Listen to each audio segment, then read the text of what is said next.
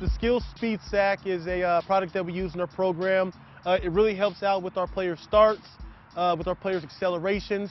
Uh, what we would do is we'll have the players do a couple sprints, about 30 to 40 yards using the SpeedSac.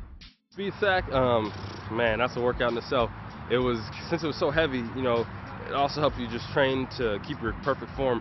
After having the players do the sprints, a lot of times what we'll do is we'll take out the weights of the SpeedSac and have the players do uh, walking lunges for muscle development in their legs, and once again helping out their stride technique and their stride length. So then you can take them out and do the lunges, and that it helps for muscle development, and also just helps the stride length and everything like that, and just keeping per perfect legs and doing things like that.